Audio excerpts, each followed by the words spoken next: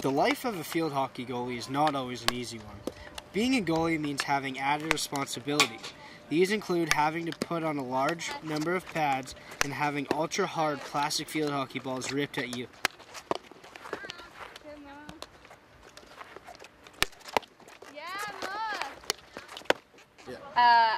Playing since seventh grade. In the seventh grade, I transferred from soccer to field hockey. Um, honestly, I don't really not enjoy anything. Like I love it to death. It's something that's really unique compared to like the other positions as a field player. We get to be in the pads, um, even though it's stinky sometimes, and I get to slide tackle people and slide, which makes it fun because it's more aggressive and physical.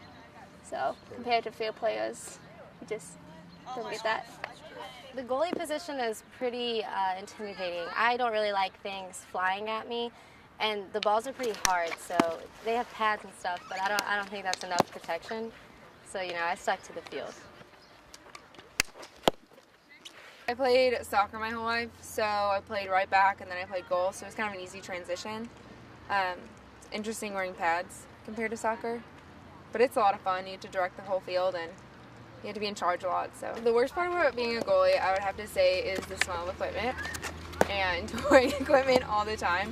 I'm not really used to it. I, I guess like throughout my career, I've always worn less equipment than most goalies wear because I just I've always played without it, being in soccer and stuff. So I've never really fully gotten used to it. Um, and hauling it around, it's like hauling around a body bag, so it's kind of irritating. But other than that, it's a lot of fun.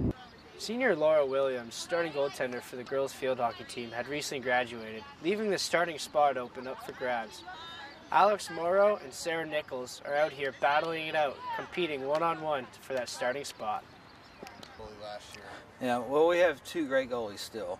You know, and one, Alex has been here for three years, three seasons. And uh, Sarah Nichols, we recruited out of high school, went to Central Michigan, came back last year and redshirted.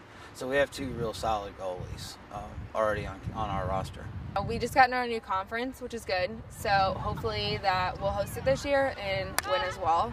Um, and then hopefully get into the rankings to go into the Division Two full conference.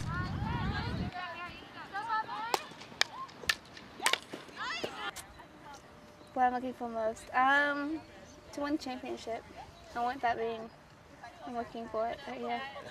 We wish the Bellarmine's field hockey team the best of luck with their upcoming season. This is Austin Shanks signing out for Bellarmine Sports Broadcasting. Go Knights!